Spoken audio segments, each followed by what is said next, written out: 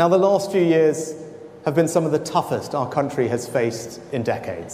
প্রধানমন্ত্রী ডিসি সুনাক বেশ বিপদেই আছেন কারণ তিনি নিজেও হেরে যেতে পারেন। এটা কিন্তু সর্বশেষ একটি পোল সাবান্তা পোল। আপনারা জানেন যে আইটিভি পরিচালিত একটি পোল সেই পোলে দেখা গেছে তিনি তার নিজ আসন নর্থ ইয়র্কশায়ারে সেখানে হেরে যাওয়ার সম্ভাবনা তৈরি হয়েছে। এবং তিনি যদি হারেন তাহলে ব্রিটেনের ইতিহাসে এই প্রথম কোনো প্রধানমন্ত্রী প্রার্থী যিনি তার নির্বাচনে হারবেন এবং হেরে মানে হারার রেকর্ড করবেন। এবং শুধু সেটাই নয়, তিনি প্রধানমন্ত্রী তো হওয়ার কোনো সুযোগই নেই, তিনি এমপি হিসেবেও পার্লামেন্টে থাকতে পারবেন না। আর এদিকে আপনারা জানেন যে সবগুলো পোল কিন্তু এখন বলছে যে লেবার পার্টি তারা ক্ষমতা আসবে। এর কারণ হচ্ছে লেবার পার্টি যে ম্যানিফেস্টো দিয়েছে, সেই ম্যানিফেস্টো প্লেস করার পরে তাদের কিন্তু জনপ্রিয়তা আরও বেড়েছে।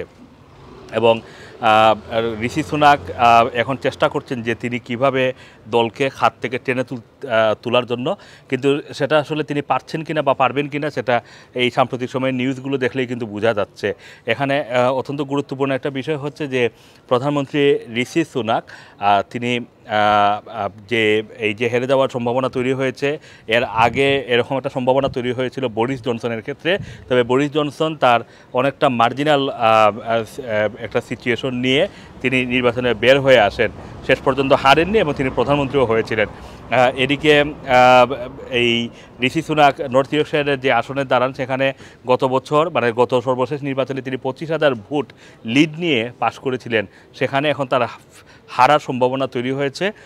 এবং ঠিক এই যে সিচুয়েশন তার নিজ আসনে, একই ধরনের পরিস্থিতি কিন্তু সারা দেশে চলছে কনজারভেটিভ পার্টির এবং এই সাবান্তা পোলে বলা হচ্ছে, মাত্র বাহান্নটি আসন মানে ফিফটি টু সিট পাওয়ার সম্ভাবনা আছে কনজারভেটিভ পার্টির আর লেবার পার্টি এখন পর্যন্ত তিনশো চোদ্দোটি আসন মানে তাদের পোল অনুযায়ী সিকিউর করেছে, যদিও ব্রিটেন ব্রিটেনে একক সংখ্যাগরিষ্ঠতা নিয়ে পার্লামেন্টে সরকার গঠন করতে হলে তিনশো চৌরাশিটি আসনের প্রয়োজন এবং সেটা হয়তো নির্বাচনের এই যে দুই সপ্তাহ সময় আছে, এর ভিতরে লেবার পার্টি সেটা অ্যাচিভ করতে পারে অথবা যদি করতে নাও পারে, তাহলে হয়তো একটা হ্যাঙ্গিং পার্লামেন্ট হবে এবং হ্যাঙ্গিং পার্লামেন্ট হলে তারা অন্য একটা ছোটো দল যারা পঞ্চাশ পঞ্চান্নটি আসন নিয়ে পাশ করবে সেরকম কোনো একটি দলকে সাথে নিয়ে সরকার গঠন করতে পারে, এটাও কিন্তু এখন বলা হচ্ছে।